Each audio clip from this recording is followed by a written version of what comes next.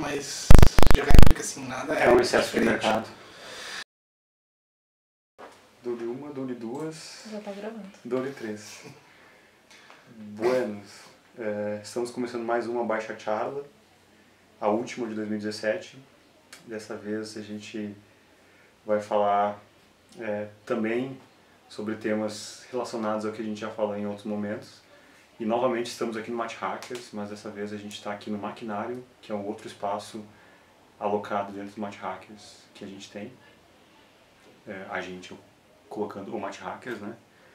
É, nessa última fala, nessa última Baixa Charla de 2017, a gente vai falar com o seu Joel Grigolo, que é sociólogo e um dos fundadores aqui do Mat Hackers e alguém que está na cultura livre, conhecimento livre já faz algum tempo e é, querendo saber um pouco como é que ele começou justamente a trabalhar com cultura livre, com hackers, é que a gente vai começar essa charla de hoje, né, João?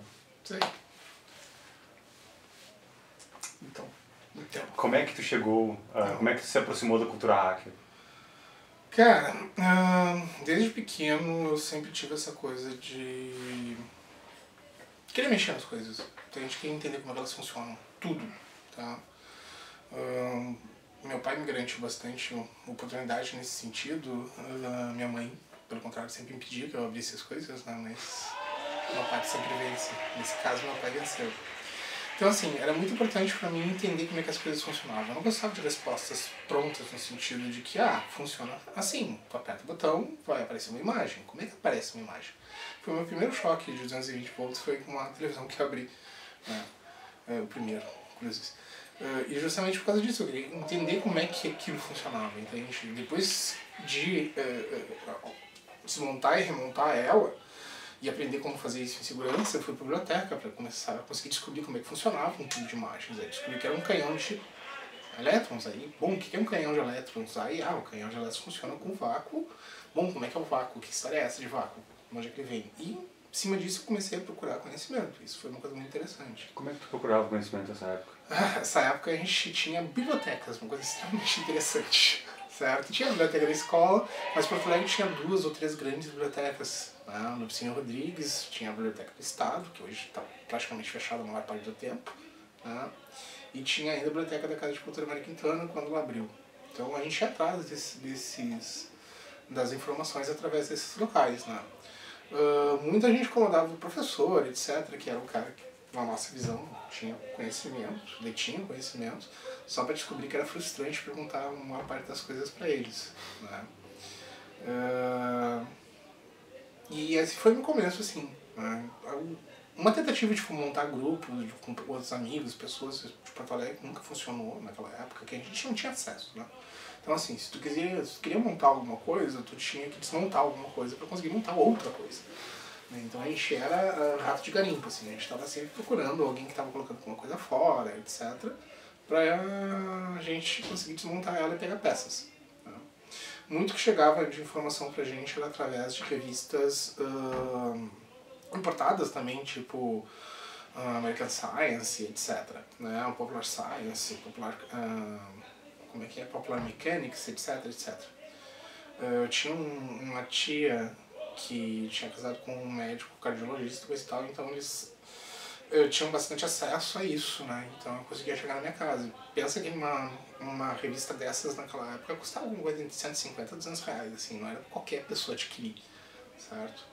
Eh, então, assim, eu tive alguma chance nesse sentido. Outra chance foi morar na casa quando eu era pirralho, né? Então, Carrinho de lombo, a gente chegou no Mark 15, assim. O Mark 15 já tinha carenagem, feita em tábua de pinos de 2,5 centímetros. Tinha suspensão, tinha freio no pedal e não na mão mais. E tinha também direção já. Esse foi o último carrinho de lombo que eu fiz. Mas a gente chegou a fazer um carrinho de lombo muito interessante. A gente fez com vaginhas de patins. A gente desmanchou oito patins. Ele tinha 16 rodas. Ah, Onde tu morava nessa época aqui? Eu morava, por um acidente, eu morava no Monte Serra, na, na, na Anitta Garibaldi, assim. Acidente por quê? Porque o meu avô quando ele chegou em Porto Alegre, ele comprou metade da, da Anitta Garibaldi, ali entre Freirões e Jardim, então ele tinha os dois lados da rua. E tinha comprado também o que hoje é conhecido como Ginásio da Brigada e toda aquela parte ali da Silva Sol. Né? A família. Bom, ele morreu porque tinha medo de andar de avião, isso lá nos anos 60. Não, não, desculpa, lá nos anos 40. Uh, 1940, 1940 e poucos.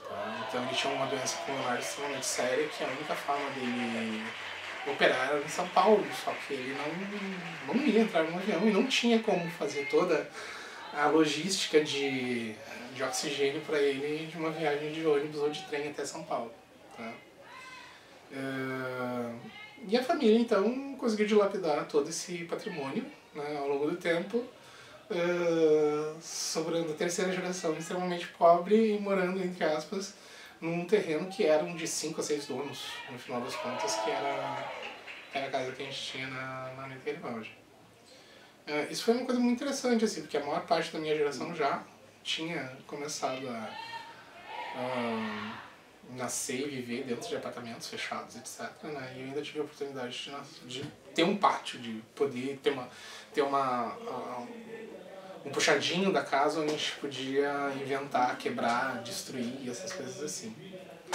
Bom, isso foi uma coisa que me, me atraiu sempre. Né? A segunda coisa que sempre me atraiu, eu comecei muito cedo, foi uh, participar de grupos e etc. Né? Então, nove anos de idade eu já estava dentro do que era, na época, movimento estudantil, com todas as possibilidades que a gente tinha de movimento estudantil dentro da ditadura militar. Né? Para gente ter uma ideia, o que era estatuto de um Grêmio Estudantil era uma lei federal que todos seguiam, independente se tu estava no Amapá ou se tu estava no Rio Grande do Sul, o estatuto do teu Grêmio Estudantil era exatamente igual, porque era uma lei federal uh, instituída pela ditadura. Depois, o segundo ponto, quando começo a fazer a transição que eu considero do que é uma coisa assim de explorar a tecnologia para ir mais para uma discussão sobre conhecimento livre foi dentro da universidade. Né? A questão da ciência sempre foi uma coisa extremamente interessante para mim. Né? Então, eh, antes, quando era piada, nessa época, a confusão para mim era o cientista era o inventor. Certo? Depois que a gente é, consegue né, entender que não, ciência tem um processo por detrás. Processos de conhecimento científico ele segue um método e esse método é extremamente interessante. Uma das coisas que esse método necessita é que o conhecimento consiga fluir livremente entre seus pares. Entende? Tu não pode haver segredos entre eles. A ciência não é baseada nisso, a ciência é baseada na disseminação livre do conhecimento por ela produzido. E isso me impacta muito quando eu chego na universidade e encontro uma coisa completamente diferente disso onde eu encontro a política se sobrepondo a, ao conhecimento, onde tu encontra uh, interesses econômicos se sobrepondo ao conhecimento, etc. E dentro da universidade a gente consegue montar um grupo bom durante um bom tempo, assim, sabe? Em que a gente impacta seriamente o que é o curso de ciências sociais dentro da universidade, tanto que a gente faz duas mudanças curriculares, a gente consegue que os estudantes sejam ouvidos, a gente consegue implementar o curso noturno, a gente estabelece uma série de interrelações com a sociedade através de cursos de extensão, colocando o que a gente tinha de melhor da universidade, né, em termos de conhecimento acadêmico e principalmente de profissionais, numa sala, não com membros da academia, mas com pessoas de fora da academia, etc. Então, esse foi um processo extremamente rico para mim também, dentro dessa construção do que, seria o conhecimento livre. Né? Um pouquinho para trás, como é que tu foi entrar na sociologia com todo esse teu interesse em entender os sistemas técnicos, objetos e... A sociedade é um sistema, entre aspas, não, não sou um sistema lógico. Tá? Mas, ela, teoricamente, ela é um, um, uma caixa preta também. Eu não queria abrir essa caixa preta tive sucesso nisso. Bom, ótimo. Vamos adiante. Tá, então, conhecimento livre, universidade, o tempo que vocês estavam lá, vocês conseguiram abrir, fazer curso de extensão e sair um pouco do, da própria ambiente universitário para conseguir é, trabalhar? E, e sair um pouco do ambiente universitário é uma coisa interessante, a gente tenta modificar o ambiente universitário. Né? Uh, tinha dois movimentos na época. Um movimento que queria a universidade mais aberta, e a gente questionava, por exemplo, como é que o acesso à universidade não era universal. Por que, que tinha um, um vestibular, certo? Uh, como que a pessoa paga pela universidade, todos nós pagamos uma universidade pública, e a pessoa não tem acesso a essa universidade. Não tem acesso nem ao conhecimento produzido dentro da universidade. Primeiro porque uma das, uma das coisas que mais chocou a, a gente, a primeira coisa que a gente aprendia na sala de aula, em sociologia, em ciências humanas em geral, é tu tem que diferenciar o teu vocabulário do vocabulário do senso comum. Existe uma necessidade de quebra. Por quê? Porque senão tu está te referindo a conceitos que não são conceitos, que são abstrações né, que não são uh, capazes de serem apreendidas de uma forma objetiva, certo? Bom, tá, tá legal, mas por que você não pode fazer o caminho de volta, certo? Por que tu tem que escrever para os teus pares? Eu não queria escrever para os meus pares, eu não queria produzir conhecimento para os meus pares, queria produzir conhecimento um todo, para todos. Né? Uh, e o outro movimento que é o contrário, o movimento do, da... Uh, Putz, esqueci agora o nome. Estava na ponta da língua antes, depois eu vou me lembrar. Mas que ao contrário dizia que a universidade é justamente isso. A universidade não tem que se preocupar com a sociedade, o cientista não tem que se preocupar com a sociedade, o cientista tem que se preocupar com a ciência, apenas com a ciência, como uma resposta em si mesmo, a si mesmo, né? com desde a sua justificativa moral até a sua justificativa objetiva, técnica ou econômica, né? está submetida dentro de si mesmo. E a gente olha, desculpa, mas se a universidade é pública, a gente tem que produzir conhecimento uh, não apenas público, mas com conhecimento que impactasse na realidade, certo? Uh, a gente tem um enorme, uma enorme estrutura, tem uma, um corpo técnico, um, tem um conhecimento específico lá dentro, tem os instrumentos para uh, servir e se utilizar dele para fazer uma modificação aí fora e aí, e isso é uma coisa importante, dentro e fora, não? Que. Como é que a gente não usa? Por que a gente não faz? Certo? Por que, que a gente aceita dinheiro de uma Motorola para fazer uma. para pesquisar como a gente vai fazer uma empresa? Por que, que a gente não utiliza o dinheiro que já é público, por exemplo, para resolver problemas de habitação ou problemas de saúde, etc. Por que, que a universidade tem que se. Uh, ter esse passe livre para nós é extremamente complicado. E aí tu criar uma instituição uma estrutura que é pública para servir ao interesse privado, capital privado, e não ao bem comum ou ao interesse coletivo, é algo que nunca, nunca conseguimos entender né? e sempre lutamos contra. E, e desde naquela época, vocês, tu acha que vocês perderam a batalha entre esses dois grupos que tu estava mencionando? Na verdade, isso é uma batalha que nunca vai ser perdida nem ganha, né, a princípio. Isso é que nem a batalha da objetividade. Né? Tu nunca vai ser objetivo. A questão é a busca da objetividade. Como é que tu trilha esse caminho. Né? É a mesma coisa que a gente dizer que a gente vai construir uma sociedade mais justa. A gente nunca vai construir uma sociedade justa. Certo? A gente constrói uma sociedade mais justa. Né? Essa é a questão. porque isso parte do pressuposto de que tu não é mais capaz de errar. Entende? uh, ou parte do pressuposto que existe um certo e errado. Isso são duas questões extremamente complexas, assim.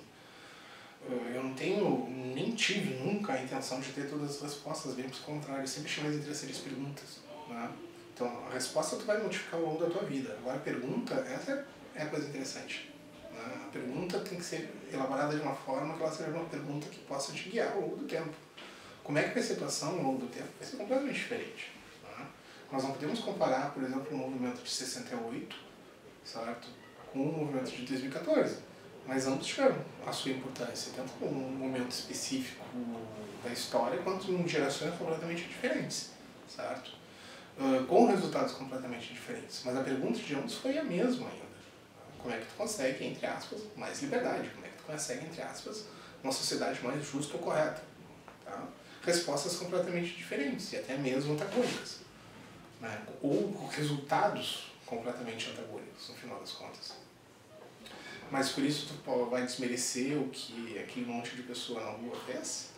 Eu acho complicado, bem complicado. Mas aí, uh, continuando depois, essa ideia do conhecimento livre que estava presente na tua infância, na universidade, como é que tu levou ela depois da universidade até chegar aqui no Machado? Bom, eu, depois que eu saí da universidade, eu fui por um tempo responsável pelas políticas públicas de geração de renda dentro da cidade, né? Então, da mesma forma, eu tentei aplicar isso, porque eu trabalhei com o que a gente chamava na época de economia solidária. O que é economia solidária? Alguns vão dizer que é a organização do trabalhador, certo? Né? Em forma de cooperativa, em forma de outras coisas, onde a, a propriedade do bem de produção é diluída entre todos aqueles que efetivamente trabalham né? e aí se faz sem a geração de mais-valia. Eu digo que não a, a, grande, a grande questão da economia solidária ela é tão importante para mim, empoderadora, era principalmente porque ela era resgate de uma coisa que o Fordismo tinha retirado do trabalhador. O que, que o Fordismo faz? Todo mundo fica pensando no Fordismo enquanto a questão da linha de produção, certo? Não, o Fordismo ele é a expropriação do conhecimento por parte do trabalhador barra artesão para o patrão, certo? Então, assim, uh, por que, que o Ford pagava o salário de 8 dólares, né? enquanto os outros pagavam menos de um dólar? Porque os trabalhadores não queriam trabalhar para ele, porque era justamente isso, eles tinham perdido a autonomia dentro da fábrica para o patrão. Né? A única forma dele convencer as pessoas a trabalharem para ele era pagando um salário oito vezes maior, certo? E isso é uma coisa muito importante. Tu vê ao longo do tempo Uh, e hoje, mais acentuadamente ainda, a transição do trabalhador com conhecimento para um trabalhador com cada vez menos conhecimento, certo? E parece uma coisa extremamente uh, anacrônica, mas depois eu faço a defesa disso direitinho. Mas o que, que a gente tem hoje? A gente tem uh, formas de produção em que o trabalhador é praticamente um cara que aperta o botão. Ele não precisa mais de um conhecimento específico para exercer uma determinada função. Tá? E isso expropria da pessoa a capacidade que ela tem de tomar decisões, isso expropria a sua criatividade, isso expropria o conhecimento que foi o trabalhador que construiu ao longo do tempo de como é que tu produz algo. Né? E isso passa a ser uma propriedade uh, quase física do patrão. Sabe? E isso é uma coisa que a economia solidária vem ao resgate, entende? Uh, tu tem o quê? Tu tem grandes funções de pobreza dentro de Porto Alegre e região metropolitana, uh, comunidades inteiras geograficamente localizadas, entende? Em que o mercado ou o capitalismo, como quiser chamar, uh, não consegue ver um valor que possa ser extraído, sistematizado e que gere valor para ele dentro do mercado. Então, aquelas pessoas são sem valor.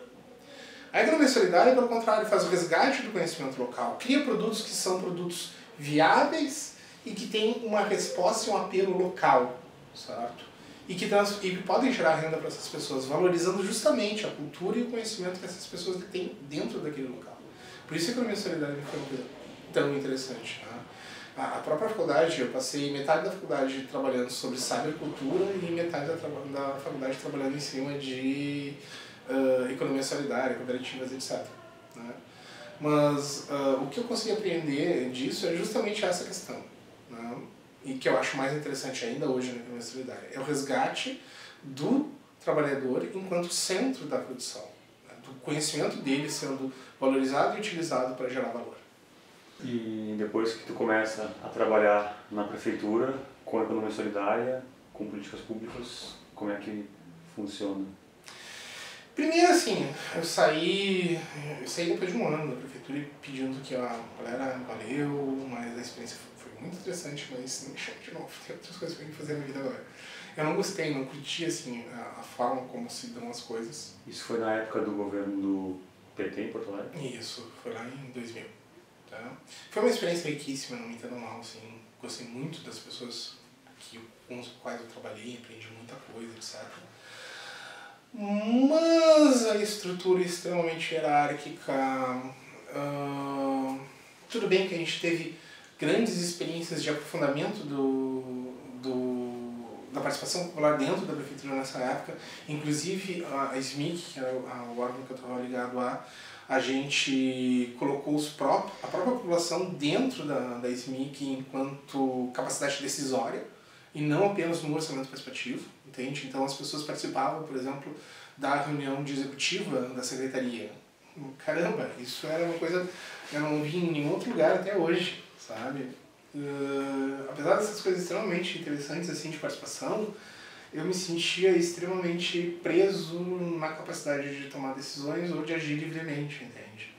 Uh, muitas vezes tu suprimia a, o que é, tu suprimia, não, muitas vezes não, praticamente todo o tempo tu suprimia aquilo que era a tua voz pessoal em nome de uma voz coletiva, certo? Uma voz coletiva, então, qual muitas vezes tu não teve nem a oportunidade de uh, decidir o que, que, qual seria o discurso. Depois disso eu trabalhei muito com criança, adolescente e idosos em programas de desde cultura e geração de renda. Tá? Teve, uh, eu participei da fundação de umas duas ONGs, se não me engano. Tá? Teve um projeto muito legal que a gente trabalhou com o pessoal da Vila dos Papeleiros, dois projetos. Um projeto era com as mulheres fazer casaco de couro a partir do retalho né, da sobra de produção, ou seja, um projeto de aproveitamento também de reuso, em que a gente empoderava pessoas que não se viam capazes de fazer outra coisa a não ser puxar lixo na rua. Né? E foi a época que eu tive assim, acesso a. Antes também, mas eu tive acesso a, a Vila Papeleiros de uma forma mais profunda, assim, foi extremamente interessante. Uh, com adolescentes da Vila dos Papeleiros e também da região Navegantes, a gente fez um projeto de teatro com grandes profissionais de Porto Alegre, uh, tanto na música quanto nas cênicas, quanto na literatura, em que esses adolescentes reencenaram uh, Vitor Hugo, né? uh, com as suas próprias palavras, colocados dentro da Vila dos Papeleiros, um musical. A gente teve cara cheia, foram três dias do Renascença, três dias de casa lotada. Né? Saiu um livro dessa produção e o mais importante para mim, assim, mais da metade dos estudantes que saíram de lá conseguiram emprego, uma colocação, um trabalho, etc., uma forma de gerar renda dentro da indústria cultural. Né? Então, assim, o projeto funcionou. Foi um projeto que me deu bastante orgulho, assim. Depois disso eu comecei a trabalhar com adolescentes dentro de um processo que eu chamava de processo de uh, realidade criativa, que era a readaptação de coisas simples à sua volta com outro propósito, por exemplo, transformar caixas em aviões, transformar fazer química com desde bolhas de sabão até fazer refrigerante, até produzir bolo, pão, etc., com uh, matérias-primas que, que eram consideradas uh, ou lixo ou não nobres. Né? E se o adolescente é capaz de aprender que ele consegue transformar essas pequenas coisas em, em projetos incríveis, a sua vida também é uma matéria-prima que ele pode uh, trabalhar. Então esse foi um outro projeto legal. E aí nessa época eu já estava de saco cheio, assim, sabe? De trabalhar com movimentos sociais, coisa e tal, era tudo muito subjetivo. Né? Tudo uma avaliação extremamente subjetiva de resultados. Apesar de gostar, etc., ele é uma coisa extremamente complicada, assim, porque o teu trabalho se traduz... Não consegue se traduzir em indicadores reais, assim, sabe? São indicadores que tu vai ver o resultado ao longo de 10, 15, 20 anos, talvez. Né? Uh, então eu queria uma coisas mais concretas, assim, e estava me sentindo principalmente dentro de um processo de não satisfação pessoal, de querer uh, justamente ter resultados, ter algo palpável para mostrar. Aí nessa época eu começo a trabalhar um pouco, volto a trabalhar um pouco com eletrônica, como hobby, essas coisas assim. E não sei por que cargas d'água eu acabo vendo uma TED do Mitch Altman? Que aí é, fala de regra space, como montar regra space, coisa e tal. Ah, que legal, vou pra internet, aí descubro o regraspaces.org, aí no regraspaces.org eu descubro que tem algumas pessoas em Porto Alegre dentro de uma lista de discussão, aí entro na lista de discussão, no dia seguinte daí que eu entrei, não, entrei na quinta-feira, no sábado seria a primeira reunião na sala que eles tinham escolhido, certo? E aí eu fui na primeira reunião, tava Yuri, Guilherme, o Alan, o uh, Wagner e o sócio dele na época, que era do Bunker 360, né? E mais algumas pessoas, que eu não lembro corretamente agora. Eu apareci lá para conversar com o pessoal, gostava, o Fabrício até lá trabalhando comigo. Né? E achei legal, achei interessante, assim, um bando de gente. Achei tudo muito novo para começar, né? Mas me assombrou bastante a seriedade com que aquela garotada, garotada mesmo, assim, tava conversando, né? E eu achei extremamente interessante. Dei uma sorte, assim. Depois eu vou conversando com o pessoal, eu descubro que quando eu entro já tem movimento de mais de anos, né? tem uns dois anos talvez. Uh, de um lado o pessoal da Universidade Federal do Rio Grande do Sul, né? que capitaneados entre aspas pelo Rafael, que era um estudante da Alemanha em intercâmbio aqui, propôs a ideia de se fazer um hackerspace. Né?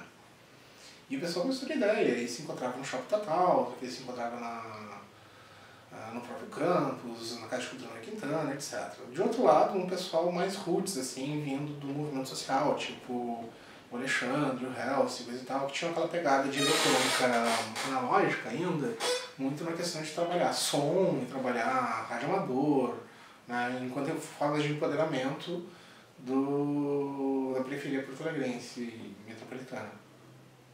É, esses dois grupos se juntam, que é uma coisa extremamente interessante, porque a gente tem, uh, dentro do MAT, até hoje, a gente tem extrema-direita e extrema-esquerda, certo? Isso é uma constante dentro do MAT. Uh, se juntam e aí começa essa coisa de, não, mas não pode ser um hackerspace se não tem um space, né? É a própria denominação da coisa. E aí foi quando eu entrei, né? Então, a, a gente teve uma, uma fundação do MAT, teve essa coisa que começou a alugar então a, um espaço no sábado dentro de um co-work. Né? O espaço não era nosso, a gente conseguiu um, um armáriozinho embutidinho lá para deixar duas prateleiras com algumas coisas nossas. E aí surge uma Tiagras em Porto Alegre, isso lá no final de 2012, se não me engano.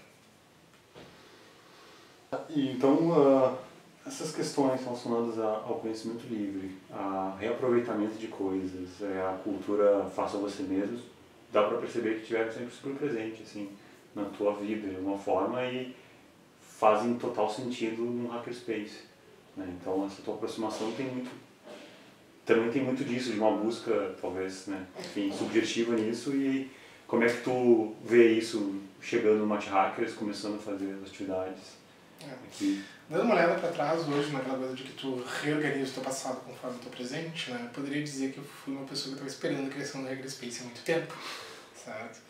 Mas eu acho uma coisa muito importante, assim, para mim o, o Matiar se transforma nesses cinco anos praticamente na minha segunda casa, né?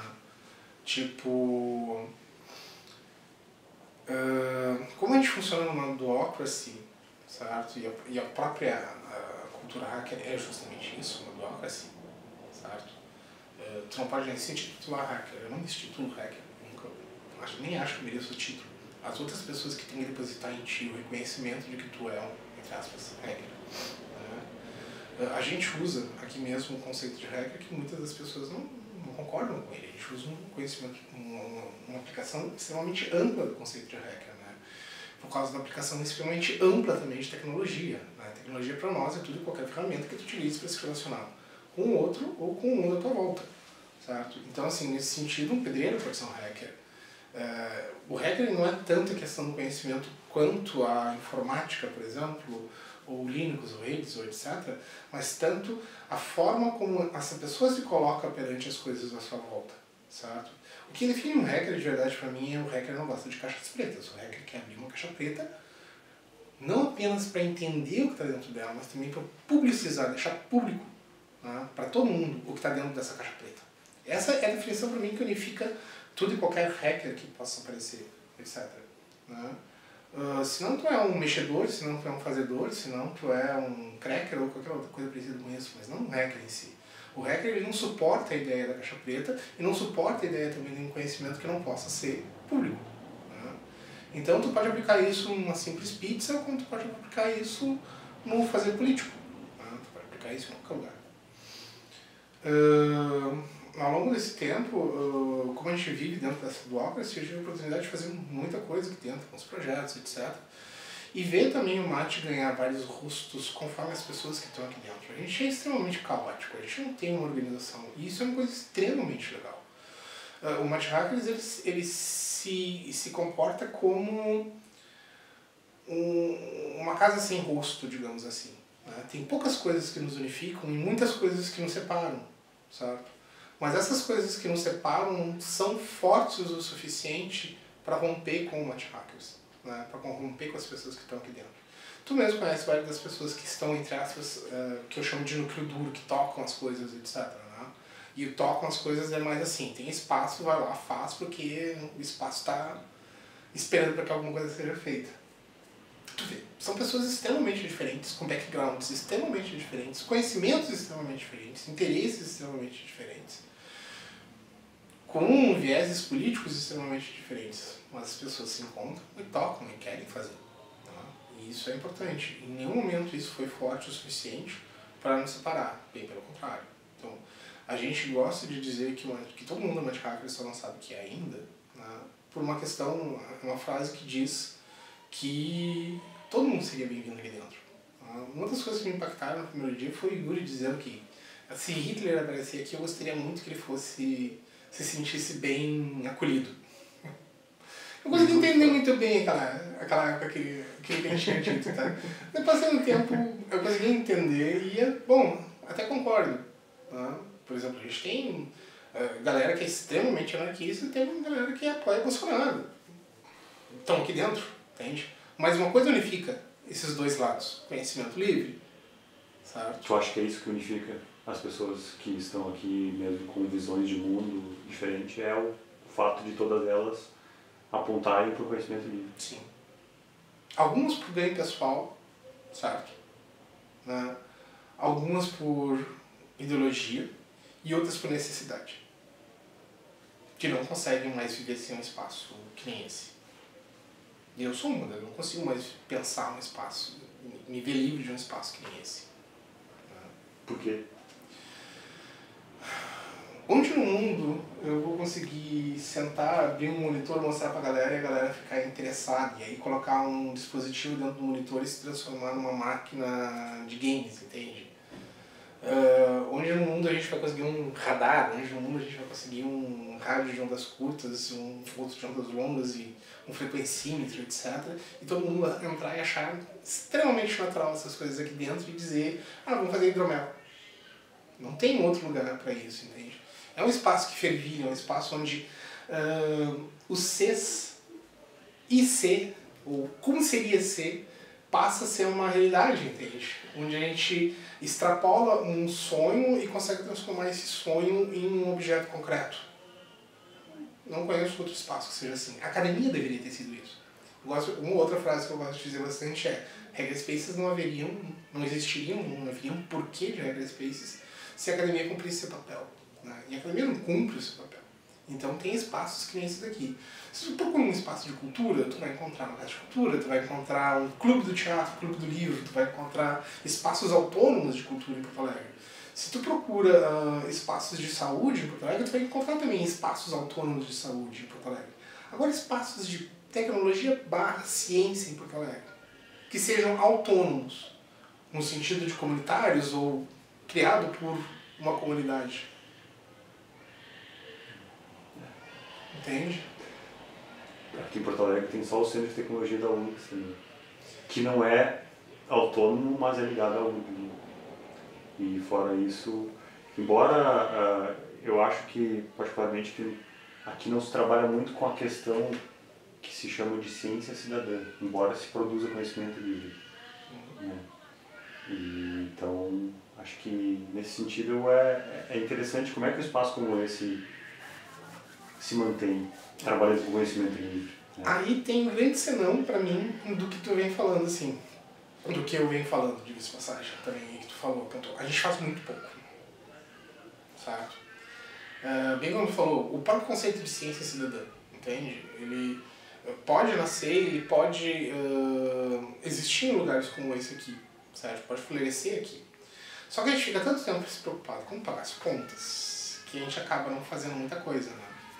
Um pouco para resolver esse problema das contas, que a gente trabalha sempre com a questão de doações e uh, espontaneidade dos, das pessoas que frequentam a sala, ou mesmo de amigos da sala, etc. Né? A gente tentou criar, ao longo desse ano, um maquinário, que é o que? Tem um, o maquinário tem um monte de pessoas que não são da área de tecnologia. Na verdade, são, tirando uma pessoa, o resto tudo é da área de humanas, certo? E um é físico. Ou seja, ninguém tá, ninguém se formou em ciência da computação ou então em engenharia da computação ou em eletrônica ou qualquer outra coisa parecida com isso, bem pelo contrário. Tá? O que a gente tem? A gente tem uma banda de gente que não tem emprego nessa área, que não tem capacidade, mas não tem capacidade de encontrar uma colocação no mercado de trabalho, mas que tem um conhecimento extremamente interessante e que é subutilizado. Então a gente criou um maquinário justamente para isso, um laboratório de criatividade, onde a gente notou que existia uma demanda a partir de um monte de pessoas que procuravam o mate para desenvolver os seus projetos, mas que não queriam colocar a mão na massa, queriam que a gente fizesse para eles, né? que não é o propósito do mate. Né? Então tinha essa possibilidade de mercado e a gente constrói maquinário para isso. Graças a isso a gente consegue baixar um pouco a dívida do espaço, um mate, né, com alguns seus membros, e pagar metade das, das despesas, etc., né? além de começar a dar uma revivada no, no espaço também. Então a gente criou essa iniciativa e é uma iniciativa extremamente interessante também pela sua dualidade. Assim. O que, que eu quero dizer com isso? Que às vezes a gente é meio esquizofrênico. Né? Tipo, Vila Flores, desde o começo a gente teve um relacionamento com Vila Flores que foi ceder o nosso conhecimento do nosso trabalho para garantir a rede lógica do Vila. Né? Cujos responsáveis somos nós. Uma reunião no começo desse ano, não, no final do ano passado, o Vila Flores queria passar a pagar para ter um, um, um, um acesso profissional. Né? O que nós passássemos a ter, que, o que nós entendemos é que nós passássemos a ter uma uh, visão uma presença profissional junto à questão da rede lógica no Vila. A gente ficou puto da cara, porque assim, foi uma coisa que a gente fez com dedicação, com amor, literalmente, né, dentro do conceito de amador, que o Mate sempre trabalha com isso também. Né, e construímos algo muito legal que servia as pessoas por um custo extremamente baixo e acessível. Né, e o Vila Flores queria monetizar isso. Aí eu me lembro da reunião seguinte, eu fui na reunião e disse, o Mate se sente extremamente ofendido, tá? e a partir desse momento ele não será mais responsável pela rede lógica do Vila. Aí eu dei uma pausa. Eu com o maquinário, ou seja, eu era o cara que tinha, ao mesmo tempo, uh, ficado puto da cara e ao mesmo tempo eu era o cara que estava assumindo junto com outras pessoas, que também são as mesmas pessoas que cuidam dos dois espaços, entende? Então, às vezes, a gente tem esse pouco de dualidade, assim, mas a gente está começando a conseguir separar bem as coisas perante não apenas o mate, também como para fora, etc. Que tipo de coisas vocês fazem no maquinário?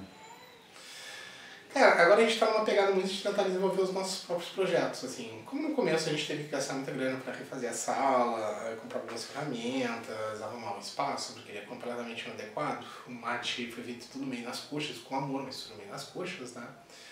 Agora a gente passou bastante tempo fazendo projetos das outras pessoas. Agora a gente quer mudar, fazer um pouco do shift disso, né? Começar a desenvolver os próprios projetos. A gente tem uns dois ou três grandes projetos que a gente está tentando desenvolver claro, com tecnologia livre, uh, também colocando uh, o conhecimento de novo na rede, né? isso é muito importante para a gente, mas que seja capaz de dar sustento tanto para as pessoas que estão envolvidas como para o próprio Match Hackers, né? não apenas o maquinário. E, e o Match Hackers, então, dentro desse contexto de que o maquinário é criado para ser o um laboratório criativo, digamos, de ter uma interface maior com a, o mercado, né? Como que tem ficado o Matt Hackers nesse aspecto?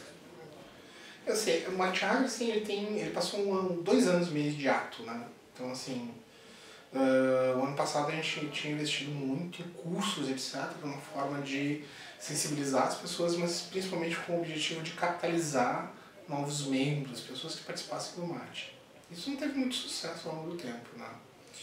Eu vejo o Monte Hackers para o próximo ano, para os próximos anos, pelo menos eu gostaria muito de ver ele com uma forma completamente diferente. Eu gostaria de ver ele mais articulado com a questão mais filosófica política do movimento. Né? Uh, eu acho que faltam grandes espaços em Porto Alegre para esse, esse tipo de discussão. Eu acho que o Maticaco está mais do que empoderado para levar adiante uma discussão desse tipo. O que, é que eu quero dizer com uma discussão desse tipo? Universo hacker, ética hacker, como é que a gente trabalha isso. Existem várias coisas que hoje são extremamente importantes que estão uh, abalando a sociedade como a gente conhece, construindo uma coisa completamente nova e principalmente a regalia né, uh, das pessoas que deveriam estar decidindo, ou seja, nossa, as pessoas comuns da rua, etc. A gente tem um prefeito que chega na frente da mídia para dizer que não é o seu João e a dona Maria que vão uh, decidir os rumos do país, mas sim os, os como é que é que chamam os grandes comunicadores né? vamos chamar as grandes empresas de mídia, né? os empresários, etc. Bom, eu vejo assim, até concordo, tá?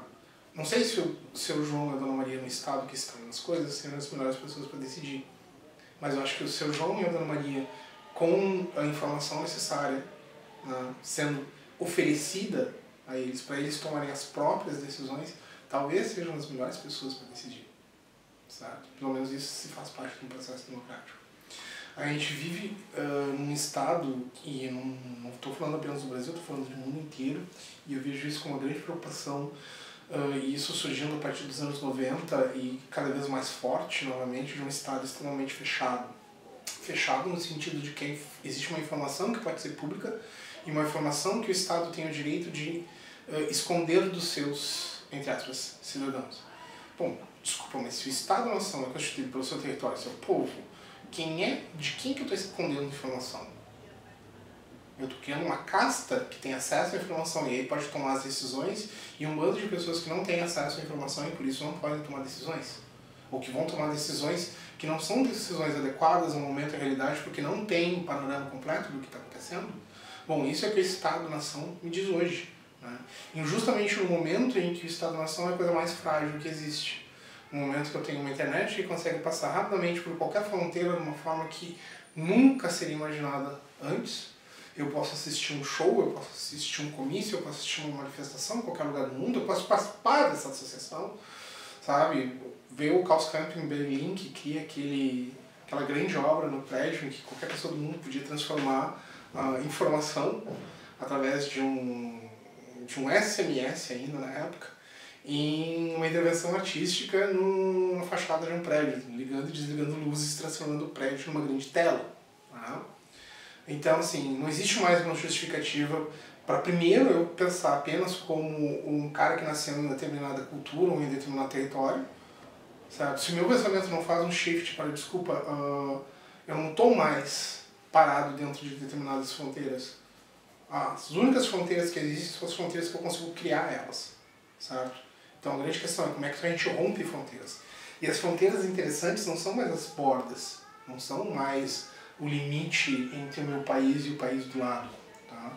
Uh, Silmar Bergman já dizia na década de 90 que as fronteiras estão dentro dos próprios territórios nacionais através de um uh, aeroporto, por exemplo, certo? em que o Customs, que, que a Polícia Federal, o Brasil, a tem um nome para isso que estou esquecendo agora, ela é a fronteira dentro da fronteira, né? Eu tenho meu computador agora ligado na grande rede, certo? Trocando informações com qualquer lugar. Né? Essa é a última fronteira. Essa é a fronteira que nós temos agora. A gente consegue, através de crowdsourcing, lançar um satélite que custa o preço de um carro médio, certo?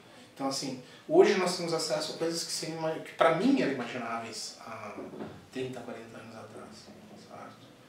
20 anos atrás. Então, essas fronteiras elas são extremamente uh, diluídas, certo? E essas fronteiras elas são rompidas por uma coisa extremamente simples, conhecimento.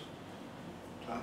Tanto que o contra-movimento desse movimento é justamente o que a gente está vendo, que é a Terra plana, que é uma série de coisas que negam esse conhecimento que já, já deveria ter sido espalhado dentro da sociedade, os antivacinas e etc., a gente vê uh, uma volta a, a uma barbárie que para mim seria inimaginável também há 20, 30 anos atrás. É, falando de hackerspaces, é, tu conhece outros hackerspaces em outros lugares do Brasil e do mundo. Como é que tu situa o Match Hackers perante esses hackerspaces hoje, nesse momento, da cultura hacker? Cara, é extremamente difícil de falar sobre isso, assim. Tem algumas coisas que unificam, mas cada hackerspace... Eu gosto de dizer que o hackerspace é uma resposta uh, local a uma questão global, certo? Nenhum hackerspace é igual ao outro, tá? Uh, dentro do Brasil, formas de organização, espaços, importância, objetivos e tal, esses mesmos variam de hackerspace para hackerspace. Eu tive a oportunidade de conhecer um ou dois hackerspaces fora do Brasil também, a mesma coisa, sabe? Eu tive a oportunidade do Meet Altman vir para cá, tive a oportunidade do Perros vir para cá também, e gente de, do Equador, do Chile. E cada um desses hackerspaces são completamente diferentes. Isso é uma coisa extremamente divertida para mim, sabe? Por quê? Porque cada um deles é um universo a ser explorado de uma forma completamente diferente por, por uma pessoa. Eu adoraria ter grana para fazer um documentário sobre hackerspaces e que eu pudesse passar uma semana, por exemplo, em cada um desses locais, entende? E entender quais são as lógicas, os gatilhos que funcionam dentro de cada um deles e como, como é que a cultura local moldou aquele espaço de forma que ele se organizasse daquela forma. Que eu vejo no hackerspace hoje, o movimento hackerspace, não só o mágico, tá? Primeiro, uma das coisas que eu sempre tive medo que foi que os hackerspaces no Brasil se transformassem Uh, na mesma coisa que o Comida de Rua se transformou, na mesma coisa que o movimento Maker se transformou, coisa e tal. O Brasil tem essa tendência extremamente interessante assim de trazer os nomes uh, de coisas que acontecem, de movimentos, etc, que acontecem na Europa, que acontecem nos Estados Unidos, despilos completamente e transformá-los num modelo de negócio hype. Né? Então, é o único lugar no mundo que eu conheço feira de rua em que a gente vai para pagar mais caro e comer menos do que no restaurante. Né? Que é completamente o avesso da proposta, por exemplo, do movimento comida de rua na Europa. Né? Nasce numa crise econômica em que as pessoas não tinham dinheiro para comer num restaurante e os caras não tinham dinheiro para comprar um restaurante. Então, coloca todo mundo num lugar comum. Fornece uma coisa super legal, que é uma garantia de alimentação, é um movimento político, inclusive, na questão de garantir alimentação para o trabalhador certo? Então, tem um viés político de quem comprava um truck para ir para a rua para fazer, servir a sua comida, tá? Para o trabalhador é um acesso a uma comida de qualidade, farta e barata, em que a gente transforma numa coisa de classe média alta, cobrando mais do que no restaurante, certo? E excluindo populações inteiras disso. Ou então, que nem em Porto Alegre, a gente fecha quadra ainda para fazer comida de rua e cobra ingresso. Alguém me explica isso, por favor? Tá? Ou no movimento maker, que a gente pega um bando de gente que não leu nem o que é movimento maker, não sabe o que é eletrônica, e é um bando de artesão gourmetizado e transforma isso ah, no movimento maker em Porto Alegre, no movimento maker no Brasil. Ok, certo. Vamos fazer um dronezinho? Não, tô fazendo minha mesinha aqui, tô fazendo minha bobajura, etc. Pô, sabe? Aí eu, cara, sinceramente, assim, quando fui até máticas e tal, eu tinha muito medo que fosse a mesma coisa, certo? que a gente pegasse um monte de gente querendo falar de startup, etc. Uh, mas não tivesse nem a ética hacker, nem o movimento hacker, nada por trás. Foi uma grata surpresa que eu encontrei isso em todos os lugares, sabe? Em todos os lugares. Tem o movimento hacker, tem a ética hacker, cada um tem uma compreensão diferente da ética hacker? Tem, certo? Mas ainda está lá, certo? Também já passou a época do hype do hacker, né? Agora a gente está em outros hypes. O que é uma coisa ao mesmo tempo ruim, porque a gente consegue captar menos recursos e menos atenção. E é uma coisa boa ao mesmo tempo, porque a gente está sobrevivendo ainda. Significa que as pessoas não estão aqui, não estavam aqui apenas pelo hype. Né? Pessoas que acreditam realmente no que estavam fazendo aqui dentro, no que estamos fazendo. Todo mundo tem crítica, eu mesmo tenho crítica, eu mesmo faço autocrítica. Nunca confio em ninguém que consiga rir de si mesmo. Tá? Então, assim, uma das coisas que a gente mais faz é rir de si mesmo. Sabe? entender que a gente é, que a gente estava errado, que a gente está errado, é uma coisa extremamente importante para a gente conseguir fazer uma coisa de uma forma diferente. Né? Então eu prefiro sempre achar que tu é errado do que tu é certo. Porque aí tu vai tentar fazer diferente, novo, etc. E o Mike está sempre tentando se reinventar nesse sentido. A própria questão de se voltar nos próximos anos mais para uma discussão filosófica, mais para uma discussão uh, política, né, do que, que hoje são Primeiro eu falei sobre a questão do Estado-nação fechando as suas bordas, né? fechando o conhecimento também sobre si mesmo, de como é que ele funciona né? retirando do cidadão, retirando do cidadão ferramentas que seriam extremamente importantes para ele transformar o Estado-nação ou um governo, certo? Mas também tu pode falar de empresas que têm acesso a Big Data, mais do que a gente tem, podem tomar decisões ou mesmo uh, modificar opiniões e criar uh, movimentos né, que não são movimentos reais, etc., só para uma manipulação da informação. Nós podemos falar também da questão da segurança, podemos falar também da questão da privacidade, que hoje é um dos maiores problemas. Né? Nunca o rei esteve tão nu como agora, certo? Muita gente sabe da gente mais do que nós mesmos, certo? Uma compreensão de o que, que a gente vai uh, fazer mais do que eu mesmo tenho sobre, si, sobre mim mesmo, isso para mim é extremamente apavorante. Como é que a gente trabalha, como é que a gente se comporta nesse sentido, como é que a gente cria uh, uma contra-resposta a tudo isso que a gente está vendo, certo? Principalmente a essa a volta do moralismo tão ralo e barato, tá? E que é um que estão sendo também já tinha conversado contigo uma outra momento sobre isso, que estão sendo extremamente felizes assim em se apropriarem de ferramentas e instrumentos que até então eram ferramentas e instrumentos considerados nossos ou de esquerda ou populares ou de coletivos, etc, como quiser chamar, né?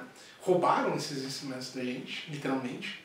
Uh, se apropriaram deles de uma forma que a gente não foi capaz de se apropriar até então, estão usando eles de gran, com grande criatividade, por incrível que pareça, estão se dando muito bem, enquanto a gente está levando um olé, olhando para lá e sem entender ainda o que, que aconteceu.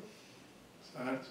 Quando tu vê um MBL da vida entrando, por exemplo, dentro de uma, de uma sessão da Assembleia com cartazes gritando, parecendo o que a gente fazia nos anos 80, eu não posso não deixar de ver ironia nisso, sabe? Eles, eles romperam com aquela coisa de, da institucionalidade e aprenderam junto com a gente que a institucionalidade ela pode e deve ser mudada conforme a vontade popular. O problema é que não é uma vontade popular, o problema é uma vontade de poucos, né? de uma minoria que, sinceramente, tem uma voz muito forte, muito grande, né? e que deixa essa maioria calada, parada, incapaz de se mover, justamente por causa disso, porque está usando ferramentas que a gente usava. Do jornalzinho ao mob, ao vídeo bem editado, etc. Como é que tu acha que o movimento hacker ou o movimento dos hackerspaces pode se contrapor a situações como essa que tu falou, por exemplo, do MBL? É, essa, é como se eles tivessem tomado é, certos, certas ferramentas de manifestação que a cultura popular, os movimentos sociais utilizavam nos anos 80 e anos 90 e estão usando para outros propósitos. De alguma forma, eles até hackearam o próprio movimento. Como que a gente pode hackear eles? É. Uh, tem uma prática feita pelo pessoal do, de Caxias, que eu estava conversando outro dia com um dos responsáveis, que não é uma coisa que eu gosto muito, que eu não acho interessante, mas que funciona, é ser mais radical que eles. Né? Então o pessoal entrava no próprio grupo sendo mais radical. Ah, não, tem que matar mesmo, tem que esfolar, tem que ser praça pública. Ah, não, peraí. E os grupos se dissolviam, entende? É uma ação extremamente radical, né, anárquica, interessante, risada. Não é uma coisa que eu gostaria de fazer, eu prefiro para um outro lado. Eu gosto de uh, tentar expor. Né? A minha questão não é tanto impor, mas sim expor. Se tu consegue uh, mostrar o conhecimento, e eu acredito que o conhecimento ele tem uma força extremamente libertadora nesse sentido. Né? Uh, eu não conheço pessoas que são realmente eh, cultas ou pessoas que têm acesso à informação, certo? E que sejam capazes de deturpar essa informação, a não ser que elas queiram objetivamente fazer isso de uma forma uh, política. Né? Eu acredito que as pessoas, quando elas têm acesso a essa informação, é extremamente importante. Uh, o problema, por exemplo, do adolescente infrator. Certo? As pessoas acreditam piamente que a maior parte dos assassinatos são, são de adolescentes infratores. Muitos dados mostram que não são nem 1%. Então, vão ter... já viu que até parou isso na mídia? Não tem mais a coisa de baixar, não funcionou, entende? Porque foi justamente assim, misinformation. Tu larga na sociedade. O problema é a adolescência que, não, que é completamente responsável que não pode ser penalizada pelos seus atos. Né? Enquanto que é menos de 1% de todos os crimes cometidos que são feitos por adolescentes, certo? Esse é o tipo de, de situação que se expondo essas informações é uma forma de... Romper com a lógica. Entende? Agora tu tem uma... Tu não tem, tu não tem a, exposição dos números. Tu tem o quê? Tu tem um, um programa de televisão que fica repetindo. Fica repetindo, fica repetindo. Mostra, mostra todos os 25 mil assassinatos. Não, foram mais, foram... Eu tinha dado ali agora, agora não lembro mais. Torno de 25 mil assassinatos que aconteceram no Brasil ano passado, certo? Ele vai mostrar apenas os casos, por exemplo, se ele quiser modificar a opinião, ele vai mostrar apenas os casos que foram cometidos por negros ou por hum, adolescentes. Ele vai omitir o fato de que uma parte dos assassinatos eram pobres, uma parte dos assassinados eram negros, uma parte dos assassinados eram mulheres, etc. Entende? Ele vai esconder isso. Ele vai criar o um medo. Certo? O medo se cria em cima da o medo só se cria em cima daquilo que tu não conhece. O medo é uma resposta natural do ser humano àquilo que ele não conhece. Quando tu conhece o teu desafio, quando tu conhece o perigo que tu está enfrentando, tu enfrenta ele. Alguém que sabe escalar uma montanha não tem medo da montanha nem da altura. Alguém que vai fazer skydiving ou qualquer outra coisa parecida com isso, os considerados mais uh, perigosos esportes ou profissões, etc. São pessoas extremamente treinadas que dominam o meio, que têm o conhecimento necessário para dominar esse meio, sabe?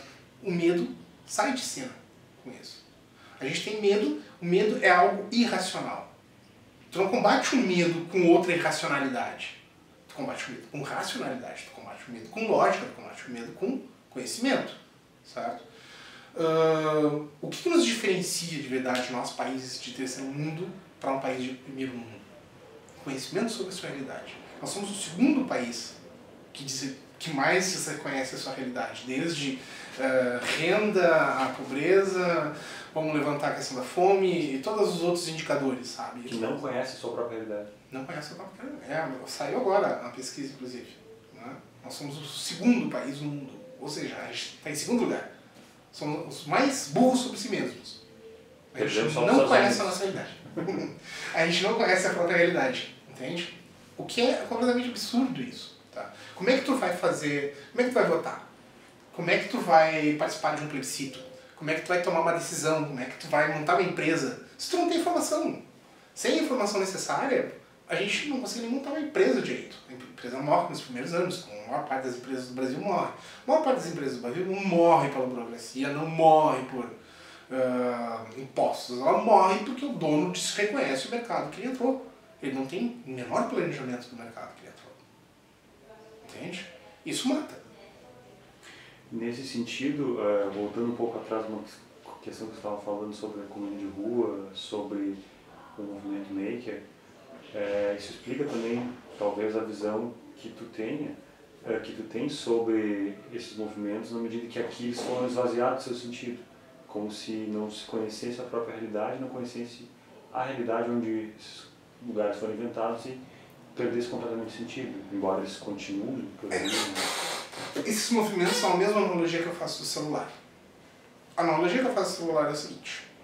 Tu tem um europeu que projetou essa porcaria, um norte-americano que acabou fazendo a patente dessa porcaria, e tu tem um japonês, ou um chinês, desculpa, que produz essa porcaria. Tá? Esse cara aqui atrás é o Kleber, viu? Ó, tá? Então, uh, quem é que se adapta a isso daqui? É tu que te adapta a ele, ou ele que se adapta a ti? Na verdade, ele é uma caixa preta aqui. Tu se adaptou a ele. Nós nos adaptamos ao uso do celular. Não faz parte da cultura brasileira no celular. Agora faz. A mesma coisa a questão do comida de rua, movimento maker e tantos outros exemplos, certo? o que que acontece? A gente traz algo porque é moda lá fora, porque existiu dentro de um de uma realidade extremamente uh, específica, certo? Mas que está em todos os jornais, tem em todos os filmes, tem em todas as músicas, tem tudo. E nos bate diretamente com isso tal. E a gente acha aquilo muito interessante, etc. Eu gostaria de viver aquilo. O que, que a gente acaba vivendo daquilo? A gente acaba vivendo daquilo uma versão lavada, transformada em apenas seu aspecto econômico, certo? E vendida para quem sonha em morar na Europa, viver na Europa, etc. Né? E é curioso que, no caso do movimento hacker, isso não aconteceu. Ou talvez não dos hackerspaces. Tu vê uma coisa, o movimento hacker assusta. O movimento hacker, ele é disruptivo e isso não se conseguiu retirar de dentro dele, certo? Tem até um cara em Porto Alegre tentando fazer hackeia sua vida. Não, não, Sabe? Vem holística e vai... Tá? Não tem nada a ver com, com coisa. Tá? Só que assim, o movimento hacker é interessante. A gente existe uma briga na sociedade pelo termo hacker. Tá? E eu acho que a gente levou melhor no final das contas quanto a isso. Certo? Uh, porque ele afasta essa história. Né? Ele afasta esse coisa. Não, eu não posso nem colocar hacker no de uma empresa porque ele é apologia ao crime. Sabe? Então, assim, é o próprio desconhecimento do que é o... E isso nos ajudou no final das contas.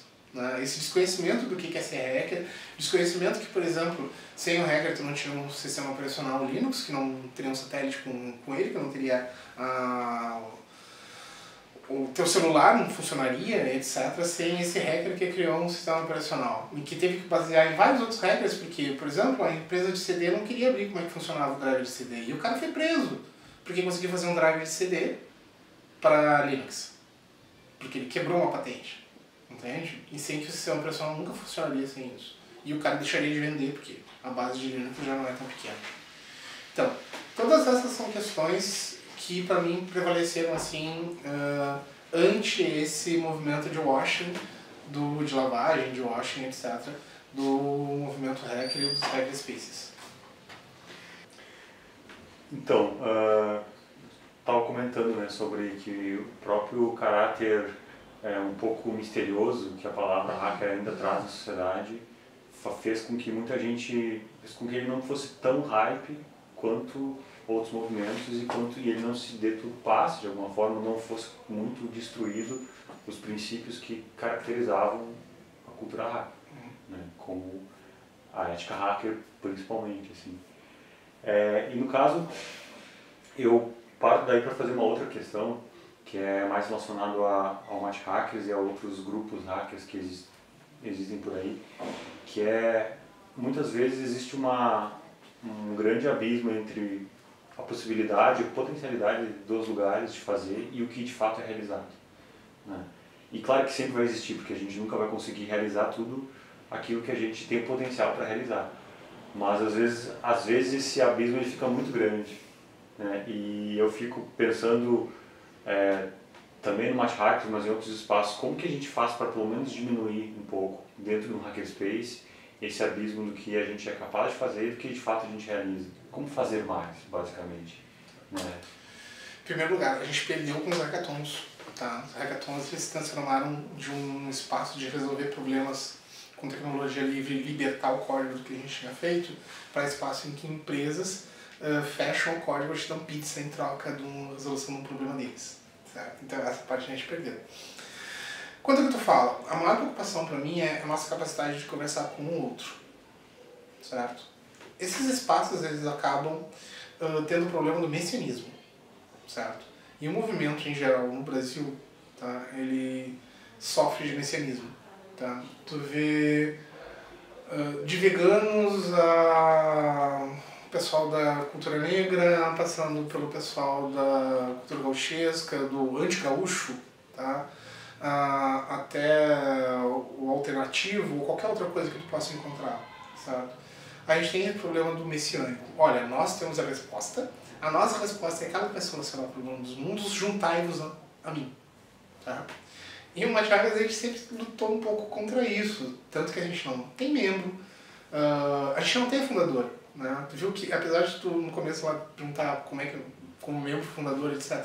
Não me, não me identifiquei, não identifiquei ninguém como fundador, nem como data de fundação, nem nada consequência. A gente não tem uma estrutura, a gente não tem uh, membros, a gente não tem membros, a gente não tem nada. Né? Uh, isso é extremamente importante porque a falta de uma estrutura também faz tu pensar duas vezes quem é que é, no final das contas, o Match Hackers ou o que, que é o Match Hackers. Quando essa resposta se solidificar, a gente tem um problema, certo? Então, eu prefiro que a gente é, fique é, claudicante, batendo nas pedras, às vezes caindo, etc., do que ter uma resposta definitiva para isso. Porque no momento que a gente tiver uma resposta definitiva para isso, a gente vai passar a ter uma missão, e essa missão passa a ser uh, messiânica novamente, sabe? É extremamente difícil fugir disso. Essa é a nossa capacidade de conversar para fora, a gente conversa muito para fora. A gente uh, atende muitas demandas de conversar fora do Match Hackers, né? Uh, e tem bastante convite nesse sentido ainda, não temos mais é, condições financeiras talvez de dar conta de todos esses convites, etc. Tá? Mas também existe uma necessidade da gente ser propositivo. E o Hackers não é propositivo, ele é reativo. Tá? E esse é um problema. Como é que dentro dessa estrutura tu passa a ser propositivo ao invés de reativo sem passar por cima das demais pessoas? Né? Se bem que no Match assim, a gente fez uma reunião para fazer alguma coisa. Nas reuniões que a gente fez alguma reunião para fazer a gente coisa, a gente conversava sobre outras coisas menos sobre o que fazer, certo? E aí quando tu vai ver no dia, é uma pessoa que assume, essa pessoa estabelece determinadas coisas, outras pessoas se agregam a isso, ficam esperando alguém tomar uma decisão. Né? Por quê? Porque confiam naquela pessoa para que isso aconteça. O Kleber, que passou pela câmera aqui, fez aquele barulhão todo, etc ele é o cara que foi a liderança maior quando a gente estava fazendo a sala. Por quê? Porque é o cara que entendia de pintura, entendia de reboco, entendia de como fazer uma coisa. Ele era a liderança do Mate naquele momento, certo? E a gente se agregava a ele. Quando vai falar de música, tem o Lucas. Tu vai passar por cima do Lucas. É impossível passar por cima do Lucas quando tu vai falar de música. Tu vai se agregar a ele para fazer alguma coisa na área de música. E assim vários campos do Mate. Uma das coisas é para nós, eu aqui para nós, é que seja importante para a gente conseguir fazer mais coisas pra, é a questão da independência financeira. Conseguir resolver o problema do financeiro, eu e todo mundo paramos de pensar como é que a gente vai ganhar dinheiro e passamos a nos preocupar com o que, que eu vou me divertir agora. Certo? Porque esse é um específico do Machakras. As coisas que nos divertem são coisas para fora, não são coisas para dentro. Todo mundo aqui tem aquele projeto que acha que vai mudar o mundo, certo? E a gente gostaria muito de perseguir esse projeto que vai mudar o mundo, só que a gente fica se preocupando com como é que a gente vai pagar aluguel no mês que vem. Isso tipo, complica bastante as coisas. No momento que tu. Uh, será que a gestão não ajuda a organizar para que o próprio mate, dando conta da financeira, consiga ser mais ativo do que reativo? Essa é uma das grandes perguntas certo? Tinha uma história de perguntas são mais interessantes que respostas. Então, essa é a grande pergunta. Como é que tu equilibra uma mínima organização que não cerceie a criatividade e a autonomia das pessoas aqui dentro, tá? ao mesmo tempo que garanta a estabilidade financeira sem sacrificar nada do que a gente tem. Esse é o ponto. Esse é o ponto de equilíbrio. E essa é a busca que a gente vai fazendo ao longo de quase seis anos aí. E aqui no Match Hackers nunca houve. É, foram vários modelos, né? Uhum. De... Cara, a gente passou um me... dois meses discutindo um estatuto. A gente pegou o estatuto de regras específicas do mundo inteiro, fizemos todas as piadas possíveis com Padawan, com idosos, etc., como membro mais velho, o cara mais novo, etc. Fizemos todas as piadinhas possíveis, fizemos um estatuto que tentava garantir acesso igualitário de todo mundo, etc. Quando a gente acabou o estatuto, todo mundo se olhou assim, cara, vamos rasgar isso, nunca vamos ter estatuto na vida. Não, nunca vamos ter estatuto na vida. Legal.